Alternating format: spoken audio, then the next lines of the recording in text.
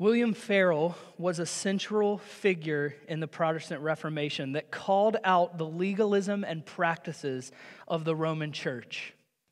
His goal was to direct people back to the truth of Scripture, focusing on it alone as the basis for belief and faith. But this was not always the case for Farel. Farel was a Frenchman and was once under the belief system of the Roman Catholic Church. However, in working alongside many Protestant ministers, Farel heard Luther's teaching about what Scripture really said. Farel's newfound faith changed his life completely. He was no longer clinging to legalism. So Farel left Paris and went to Switzerland. And he spent time with Huldrych Zwingli and Martin Luther. Farel had a passion to go into new towns telling people about the truth of Scripture and encouraging them to join the Reformation. One of these towns was Geneva. And Farel's story in Geneva is very, very interesting. When Farel arrived in Geneva, the people wanted nothing to do with his teaching. He began preaching, and they immediately tossed him out of the city gate. Farel, knowing the need of the true gospel in the midst of legalism, in the midst of the legalism that was being proclaimed by the Roman Catholic Church, he went right back into the city and they tossed him out again. Only this time they beat him. Well, guess what Farel did? He went right back into the city to boast of the cross of Christ and forgiveness by faith alone in Christ's finished work. And for a third time, Farel was tossed out of the city gate, and this time someone shot at him. They were so offended by what he preached. Did this stop Farel? No. Farel went back into Geneva a fourth time only this time they didn't throw him out or beat him or shoot at him. They listened. And they not only listened, they placed their faith in the finished work of Christ. And Geneva remained a crucial place for the Reformation for generations to come, all because William Farel did not fear persecution. He did not care about his own glory but proclaimed the glory of the cross no matter the persecution that came with it. A life. But not just his life, the entire whole of the Reformation was to destroy the legalism that had proclaimed to be the truth and focus on the truth of salvation by grace through faith. Focusing on the glory of the cross and not the performance of man. This is the focus of the end of the book of Galatians. Go ahead and turn in your Bibles to Galatians chapter 6. Paul was dealing with a similar legalism and performance based salvation in the time of this letter. A false gospel that focused on the glory of man rather than the glory of Christ crucified. How much do we need this reminder? I am so prone, so prone to legalism and making little of the sacrifice of Christ. Maybe not in my words, maybe not in what I say, but in how I live, in how I parent my children, in how I interact with others. Thinking I can earn, thinking I'm good enough, thinking that the sacrifice of Christ isn't good enough. Let's read verses 11 through 18 of Galatians chapter 6. See with what large letters I am writing to you with my own hand. It is those who want to make a good showing in the flesh who would force you to be circumcised, and only in order that they may not be persecuted for the cross of Christ. For even those who are circumcised do not themselves keep the law, but they desire to have you circumcised, that they may boast in your flesh. But far be it from me to boast except in the cross of our Lord Jesus Christ, by which the world has been crucified to me and I to the world. Verse 15. For neither circumcision counts for anything nor uncircumcision, but a new creation. And as for all who walk by this rule, peace and mercy be upon them and upon the Israel of God. From now on, let no one cause me trouble, for I bear on my body the marks of Jesus. The grace of our Lord Jesus Christ be with your spirit, brothers. Amen.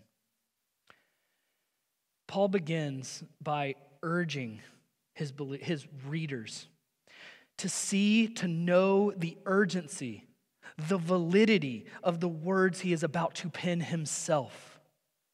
Instead of a short farewell that Paul typically gives at the end of his letter, letters, he takes the pen from the scribe that would have been transcribing for him and writes a longer goodbye out of necessity. In this closing, we see the marks of legalism and the marks of faith. The marks of legalism and the marks of faith. Legalism is looking to something other than faith in the finished work of Christ to save you. It adds on to the sacrifice of Christ, something you can earn. Legalism tries to add something that man can boast in themselves for. John Piper says a person who uses the law as a vehicle of pride is a legalist. Let me say that again. A person who uses the law as a vehicle of pride is a legalist. This is exactly what Paul describes in these verses. Paul starts by giving three marks of legalism for us so that we can easily discern when we see it in our own lives and in the lives of others. This is an introspective look to see if we are guilty of such legalism, and then an external look to see if those brothers and sisters in Christ are struggling with this legalism. So, Paul gives three marks of legalism. First, outward change outward change. Look at the first part of verse 12 again. It is those who want to make a good showing in the flesh who would force you to be circumcised. So, Paul, turning his attention first to the legalist, the Judaizer, that want to appear put together on the outside, the legalist, the hypocrite, those who claim to be followers of God but live as though something other than Christ saves them, they put on a performance. They wear masks. They display goodness. They focus on bettering what man sees. They focus on the outward behavior rather than the heart. It is those who want to make a good showing in the flesh who would force you to be circumcised. It's a physical focus rather than a spiritual focus. Earlier in chapter 5, Paul warned not to focus on the works of the flesh, and here we see these people's biggest concern is the flesh. They care only about circumcision, they care about the law. In only caring about these things, they proclaim that in order to be good, in order to be right, you have to be circumcised. They stray from the gospel and put unnecessary requirements on people. Instead of acknowledging the gospel as for all people, Jew and Gentile alike, these men were trying to make everyone into Jews through the circumcision of the flesh. This takes the focus off of Christ. This takes the focus off of the heart. They were trying to mix the Old Testament law with the new law that Christ had ushered in, in as the fulfillment of the Old Testament law.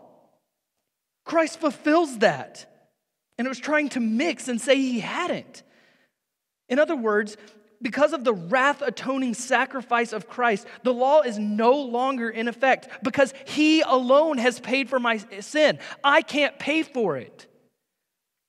There's nothing we can do to pay for our sin. But this is exactly what the legalist tries to do. And how often do we try to do this? Imagine taking a rotten, worm infested apple and you polish up that apple to where it doesn't look rotten at all. Maybe throw some bright red paint on the outside of it so it just looks good. Make it look like the healthiest of apples. As soon as you bite into that apple, the rottenness is going to reveal itself. This is exactly what the legalist does.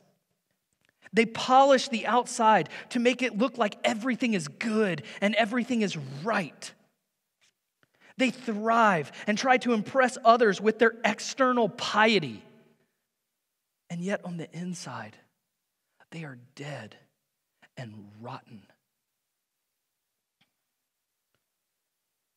This is the first mark of legalism outward, external change. The second mark of legalism is the fear of man. The fear of man. Look at the rest of verse 12. They focus on circumcision only in order that they may not be persecuted for the cross of Christ. They fear the persecution that comes with the cross of Christ. They fear the persecution of the true believer. This is their only motivation. It is selfish motivation focused on worship of self. They don't want their own lives threatened. They don't want to suffer as Christ suffered. They do not want to suffer as Paul has suffered. In short, they don't want to claim Christ out of the fear of man, not out of a proper fear of God. The legalist does not want to be identified with Christ. Listen, they think to themselves, why would we want to be marred with the same suffering and crucifixion as that of Christ? The cross was polarizing, still is. The cross was polarizing and following the, the one who was signaled as cursed because he was hung on a tree was polarizing. They had not crucified the flesh with its desires because they feared the crucifixion of the flesh. So, why not add law? Why not add legalism to the gospel in order to protect themselves under Roman law? Listen, this is so important for under, us to understand the historical context of this. You see, Jews at the time were protected under Roman law. So if you were a Jew, you had protection, you had freedom to worship, you had freedom to practice the law. But Christians were not. Christians were persecuted under Roman rule, and Jews were given freedom. Legalism that is anti gospel protected them from being persecuted by man. The selfish motivation of the legalist was fearing man and what man could do to them if they actually worshiped Christ, if they actually had true faith. It's trading a rightful view of eternity for what is comfortable here and now. How quickly do we sometimes, as the legalist, miss the life giving message of the cross and only see the persecution that it brings?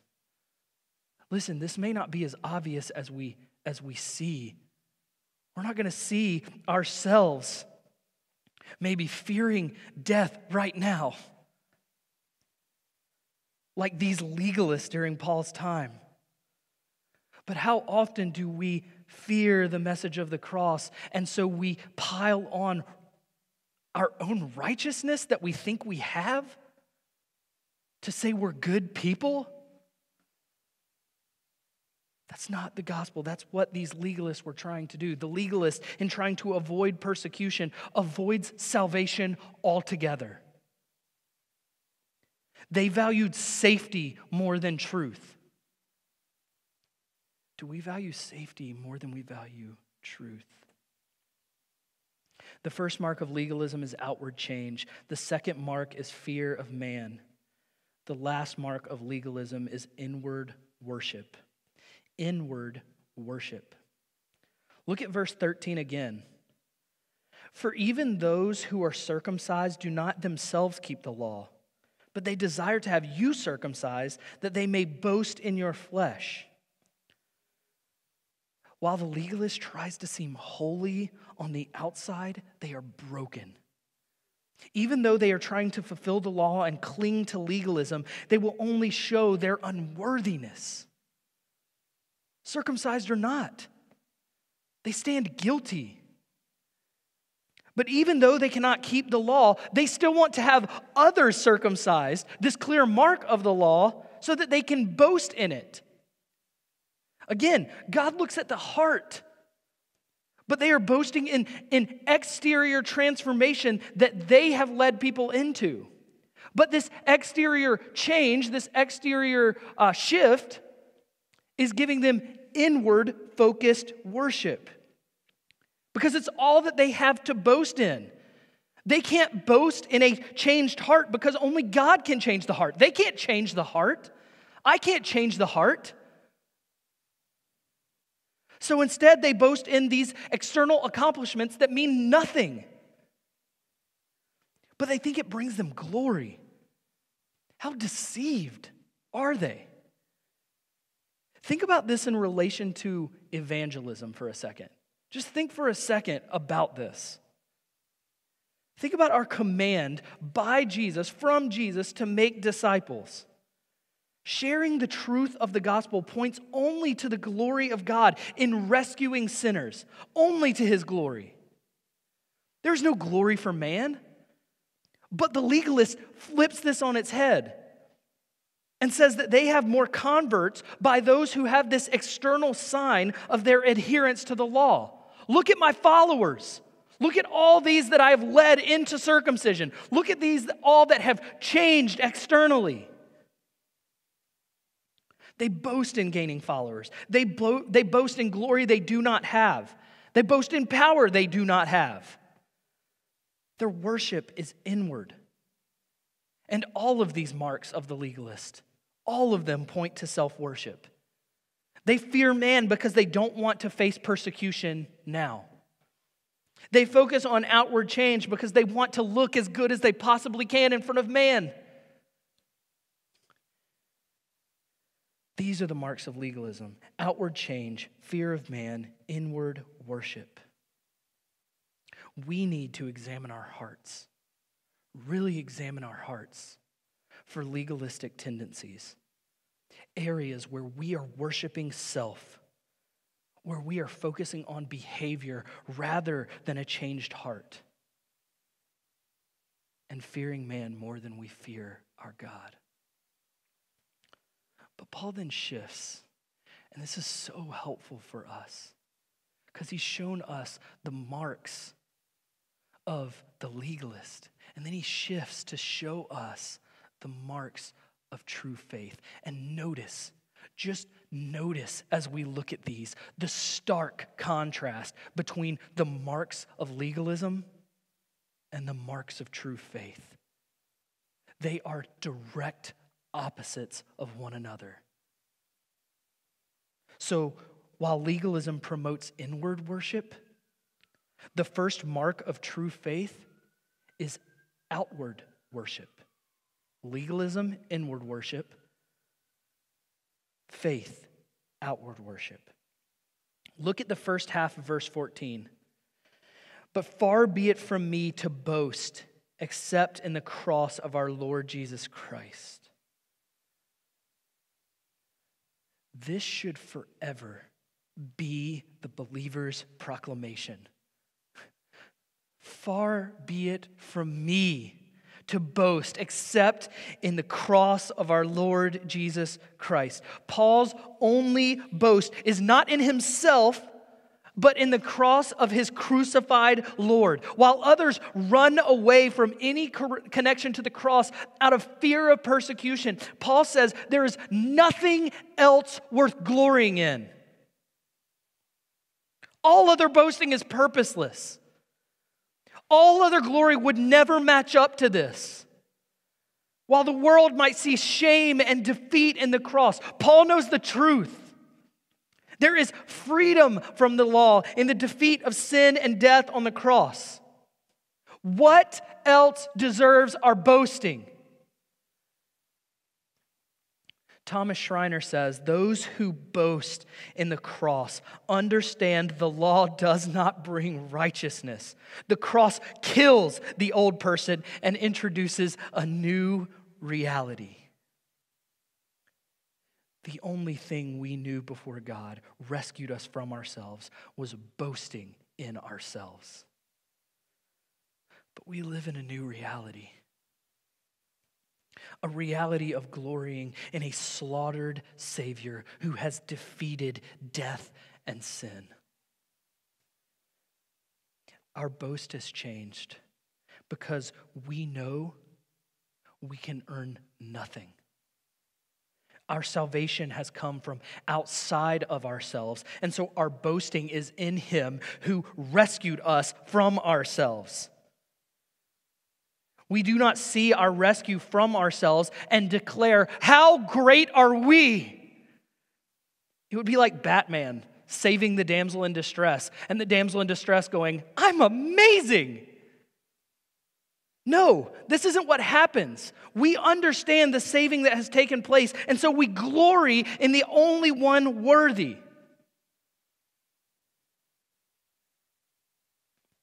The first mark of true faith is outward worship. The second mark of true faith is inward change. So while the legalist, again, while legalism focuses on outward change, circumcision, true faith focuses on inward change.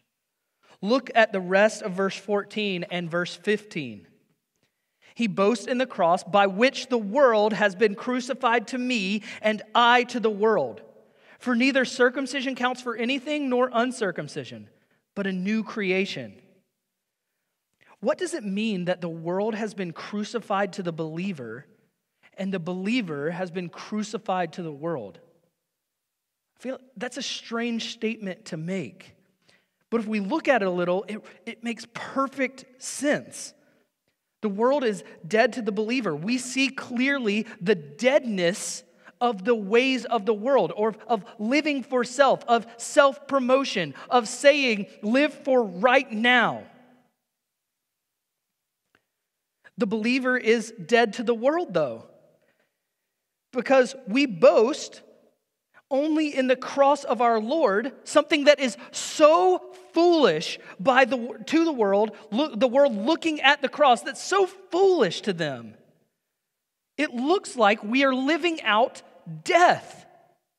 While we look at the world and we truly see them living out death.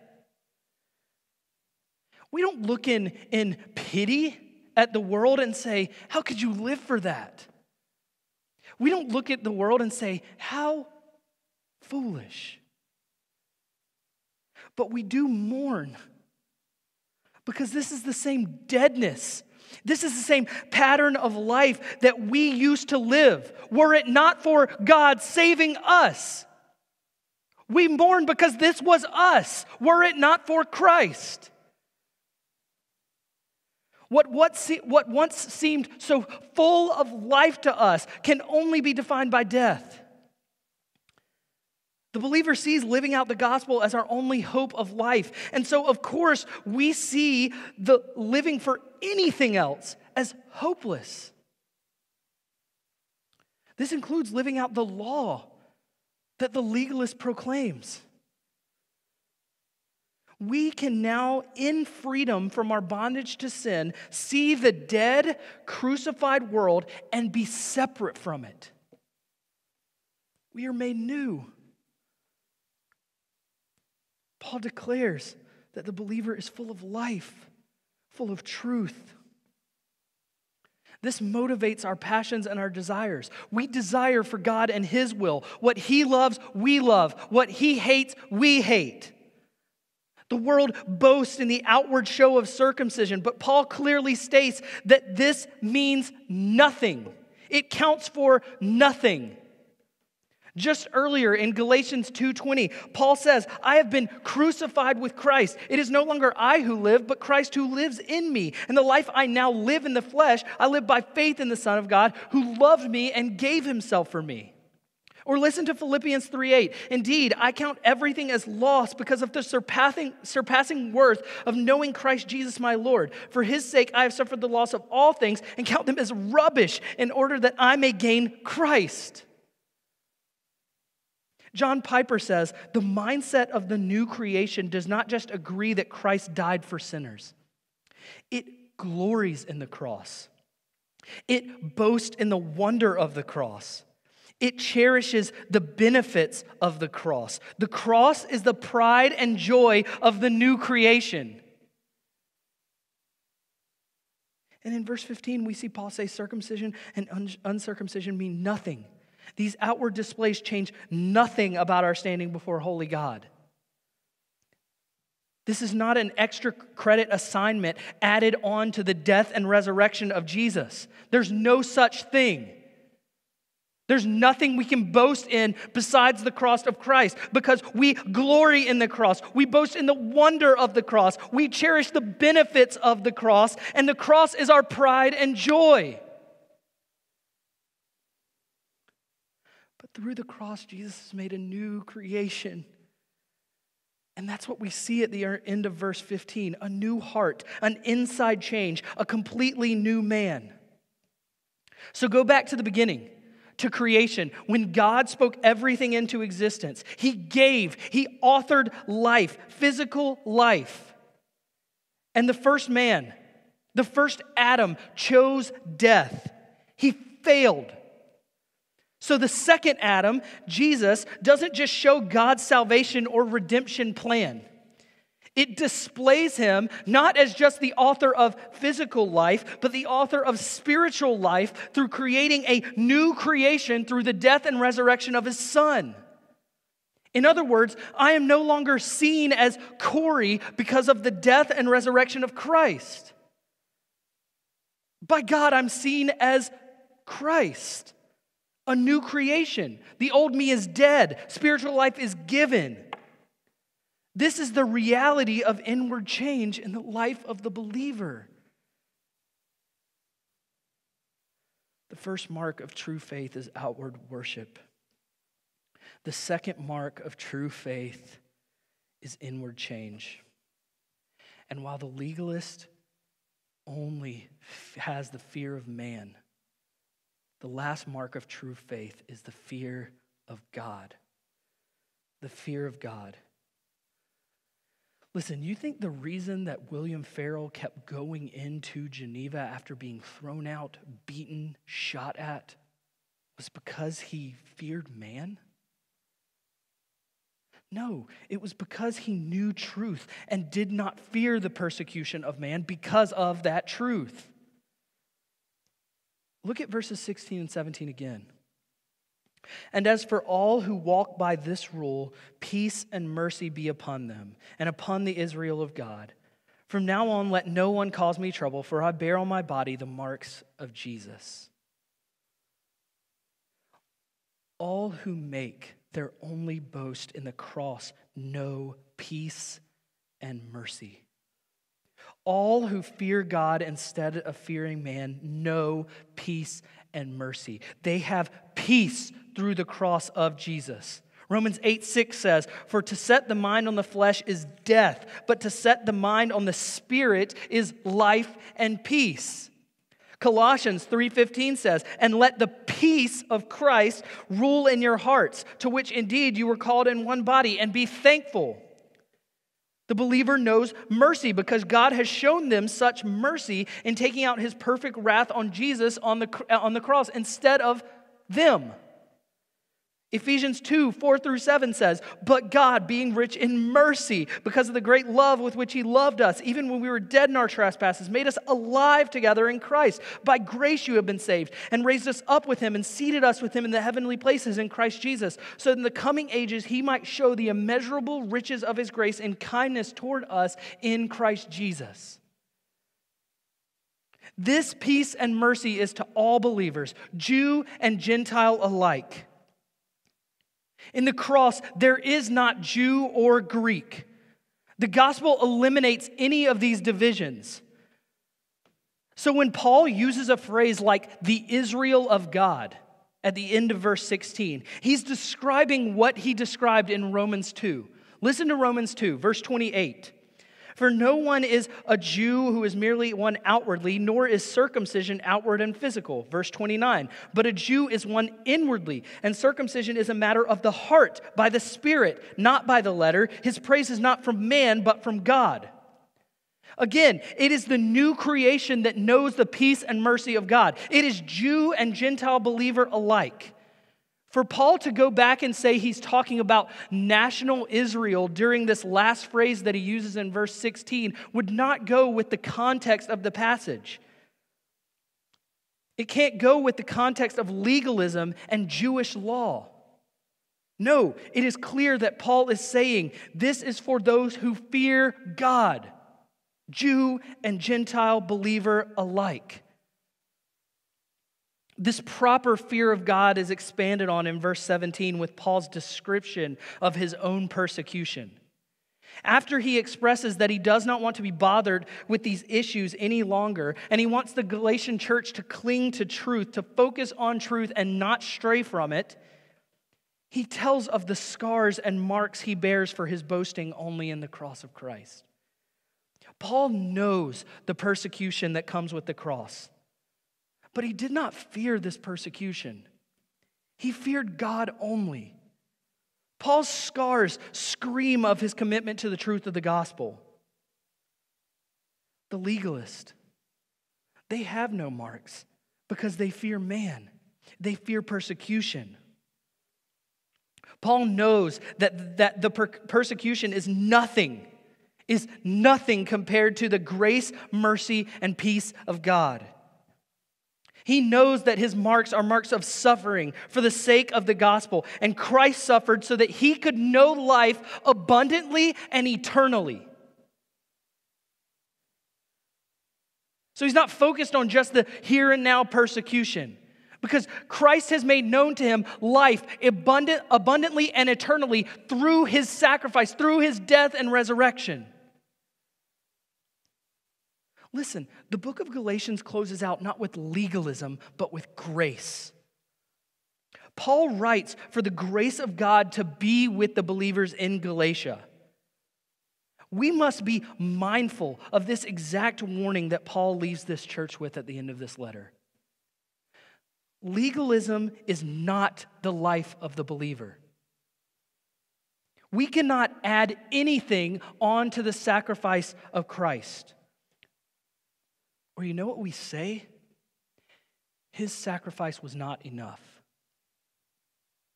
Listen, it is absurd. It is absurd to think that I can heap righteousness I do not have onto the sacrifice of the one who is perfectly righteous. Let me say that again. It is absurd to think I can heap righteousness I do not have on the sacrifice of the one who is perfectly righteous. Listen, believer, you are already perfectly righteous because he was and is perfectly righteous. You have nothing to earn because you couldn't earn it. Christ earned it for you. He was broken for you, He was victorious over death for you.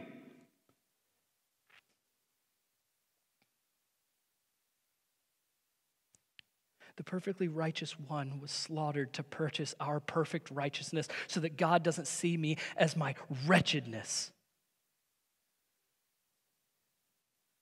Believer, live out this perfect righteousness. It doesn't mean you are going to be perfect, but it means you are going to live with outward worship, inward change, fear of God. This is how, when we come back together, even now during this time, this, is, this impacts how we should live together. These marks of faith should define our lives in how we, how we go to our God and how we go to each other. This changes everything about our lives. If you're an unbeliever, listen, you can't earn your way to God. There's no hope in that. You never will be good enough. But Christ paid the price for sin so that you don't have to. He became sin so that you could be right with God. If you don't know what that means, and, and you want to know more about freedom in Christ, call us, email us. You can find all of our information on our website. We would love to talk to you. We must be encouraged to live out our faith, to, to make these marks of faith our life, and to make sure we're not clinging to the marks of legalism. Let's pray. Father, The message this morning is you are so far above us. You are holy and we are not. You are perfect, we are not. You are right, we are not. You are good, we are not. And so we can't bring anything to offer to you except you have already brought what we need. You have, you have given yourself. You have been slaughtered for our sin so that we can know life, we can know righteousness. And now we bring our obedience, our, our joy, our faithful worship to you, the only one worthy. We cannot worship ourselves because we did not earn our way to you. There's no way we can. And so we worship you. We turn to you. As we close out this book of Galatians, I pray that we are quick to proclaim your grace, that we are quick to proclaim your name, not our own, that we are not clinging to marks of legalism, that we are not worshiping ourselves, that we are not demonstrating external piety, external worship that does not define our heart, but that out of our heart is flowing the fruit of a changed life. That we do not fear man and what man can do to us because it's nothing we have an eternal perspective. You have given us new life that is abundant, that is eternal. We live in that reality. So, God, help us to cling to that, to focus on that, to not lose sight of that, and to do exactly what Paul encourages this church to do stay focused on truth. Not on opinions, not on lies, not on legalism. Focus on truth. Focus on the gospel. God, we need you for that. So help us, as I know you will. Help us to pursue you well. Be with First Baptist Alcoa. Help us to love our God and, and to love each other well for your glory, not our own. I pray all this in Christ's name. Amen.